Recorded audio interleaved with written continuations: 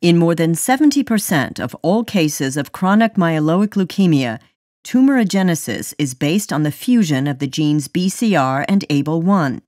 Therefore, the BCR ABL kinase protein is the main target of therapy of these tumors. The mechanism of the therapeutic drug imatinib, registered commercially as Gleevec, is based on the equilibrium between the two conformational states.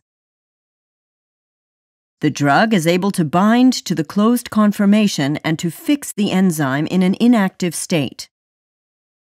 It binds selectively to the closed conformation, thus removing the closed molecules from equilibrium. Thus, Gleevec shifts the equilibrium towards the closed and inactive conformation, which is unable to bind ATP.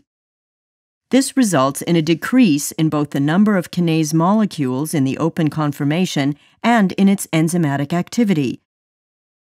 Gleevec was developed in 1995 in a directed high throughput screen for small molecules with inhibitory activity against the ABL kinase. It was the first anti cancer drug with an inhibitory effect on tumor specific enzymatic activity.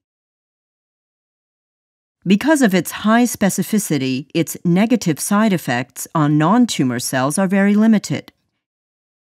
Gleevec significantly prolongs the lifespan of more than two thirds of all patients with CML type leukemia.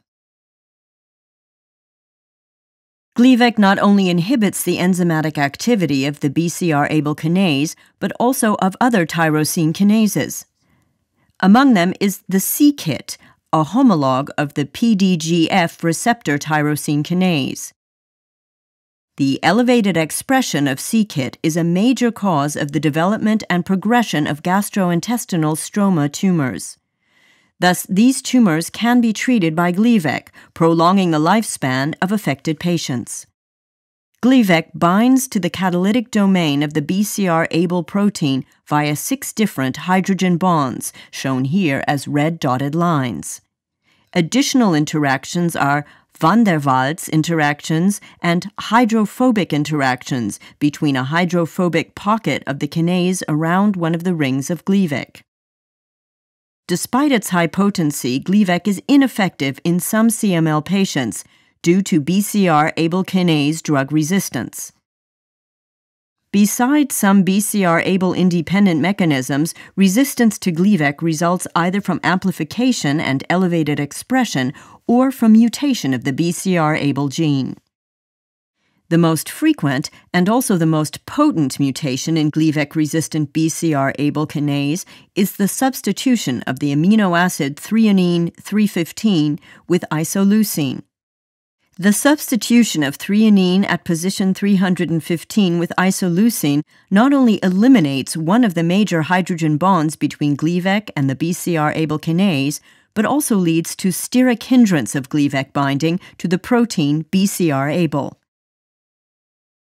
Over the past few years, much effort has been made to develop novel kinase inhibitors that also inhibit the mutated BCR ABL kinase. One example is nilotinib, registered trade name Tasigna. This drug inhibits most mutant forms of the BCR ABL kinase and is thus widely used in the second line therapy of certain Gleevec resistant forms of CML. Nevertheless, Tasigna still needs the intact threonine at position 315 to interact with the BCR ABL protein. The drug is therefore ineffective in treating leukemic cells with a mutation at position 315. Imatinib could prove effective in overcoming drug resistance based on the 315 mutation. The new drug binds independently of threonine 315 to BCR ABL and has shown high inhibitory activity towards the 315 mutant form of BCR ABL kinase in animal experiments and initial clinical trials.